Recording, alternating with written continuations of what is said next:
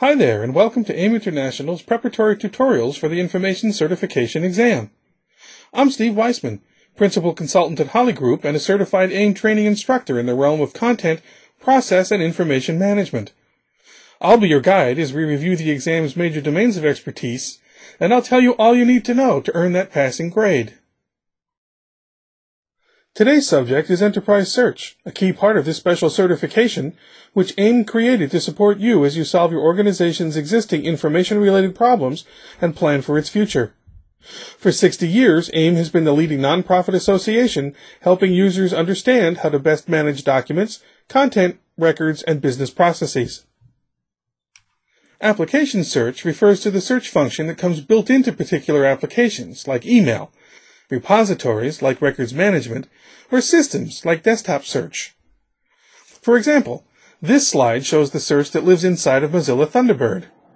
When you search within an application, you're only searching the information that's managed by that particular tool. There's also search on the internet, Google being the most popular example. This is a form of application search in that these tools are integrated into the web and provide search across the many websites. Now, among the advantages of this kind of search is that it's made available directly in the context of the business application, as opposed to being offered as a separate capability. The interface thus is inherently more intuitive as it behaves like a feature of the business application itself. It may also understand and respect the application's security and access model, meaning that a search within a financial application would allow you to access only those documents that you're allowed to view, which it would know from your system login or authentication. On the downside, application search works only on the information contained within the application, and it may not be as feature rich as best of breed alternatives. Parametric search is a primary and fundamental example of rules-based search, also called fielded search because it refers to metadata fields within databases or content repositories it operates on attributes that have been predefined in the given data sources. For example, imagine that I'm looking for a woman's size 8 red shoe with a 3 inch heel. These are the specific parameters that I'm querying on, and particular elements in my repository have been populated with values that I can then search, like gender, which is women's, article, which is shoe, size, 8, color, red, and heel size, which is 3 inches. Parametric search provides the highest level of precision on a query. The drawback, however, is the query capability is strictly limited to the fields that are declared. And you have to be conscious not only of which fields you want to be searchable, but also whether those parameters align with what users will need or want to query on. Keyword search is a specific form of parametric search, as it's based on one or more fields. These fields, though, contain user-declared words or phrases that represent concepts within the content. We use them all the time, and even set them up ourselves in such simple examples as the one shown, in which we characterize the bookmarks we create when browsing the web. Under this approach, database fields are populated with words and phrases that have been associated with the targeted content. These words and phrases are used to represent the overall meaning and value of the content. Thus, and this is important, these keywords don't necessarily have to be represented as words within the document. For example, a document reviewer may assign the keyword or phrase World War II to a document that discusses the alliance between Stalin, Churchill, and FDR. Nowhere in the document is the phrase World War II actually mentioned, but the human reviewer made that deduction and imposes this concept onto the document via the keyword. One value of keyword searching is the ability to impose human-based knowledge into the system, providing context and insight about the bodies of content that are not overtly present in the content itself, and making that available to the searcher. Another value of keyword search is its ability to be applied to any form of content, not just text-based documents, but photos, images, videos, audio, virtually anything. There are drawbacks, however, starting with being reliant on human beings to analyze each body of content and determine the keywords.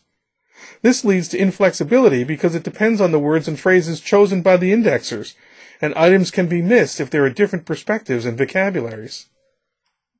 Rather than using ranking algorithms to predict relevancy, semantic search identifies content on the basis of what words mean, not merely their existence in a document, It's also known as natural language search. In most cases, the goal is to deliver the information queried by a user rather than have a user sort through a list of loosely related keyword results. A related discipline is known as pattern search, which looks at things like how often certain words are used, in what proximity to each other, and in what order to determine which results are relevant. This analysis is based either on prior knowledge or statistical information it extracts from the patterns. Statistical search uses mathematical algorithms to determine the overall context of the meanings contained within information. Encompassing many techniques, such as Bayesian probability, it uses many different algorithms that are typically proprietary and not modifiable.